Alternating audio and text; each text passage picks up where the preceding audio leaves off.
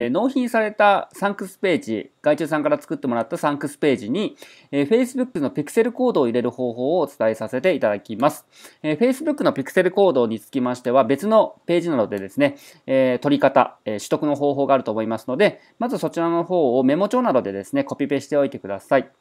で、えー、納品されたデータですね、えー、サンクスページのデータ、この index.html というファイルがありますので、これをですね、えー、編集します。で、編集の仕方としては、えー、このですね、右クリックをしてアプリケーションで開いていきます。えー、Mac の方は Cod エディター、えー、Windows の方はまた別の、えー、エディターがありますので、それを選択してみてください。今回は、えー、Mac の Cod エディターというものを使っていきます。えー、基本的にはこの内容は他のエディターでもほぼほぼ同じです。はい。ではですね、このように、えー、このメタとかヘッドとか、こんな感じで出てますので、ここにですね、えピクセルコードを埋めていきます。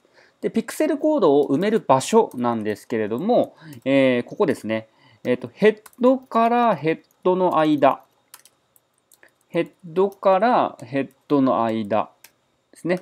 ここに入れるということです。なので、このヘッド、ここから、よいしょ、ちょっと選択しますね。選択するときとかは、えっ、ー、と、コントロール F とか、コマンド F を押して、ここで見てみてください。よいしょ。ここですね、47行目のところの、えっ、ー、と、ヘッドのこの閉じるところですね。ここのところがあります。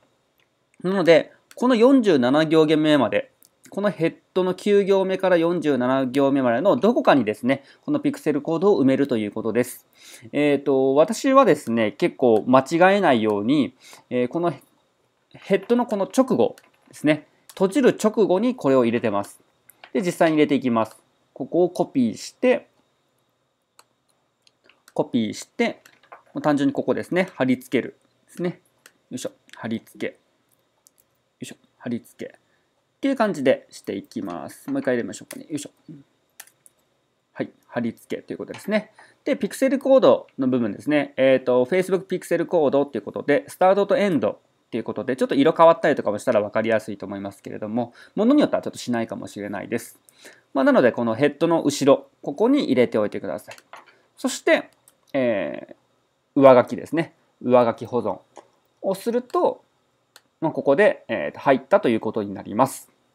はい。というところで、えー、この index.html ができましたら、えー、サーバーにアップすれば大丈夫ということになります。ということで今回は外注さんから納品された、え、サンクスページに Facebook Pixel コードを、え、挿入する方法をお伝えさせていただきました。え、どうもありがとうございます。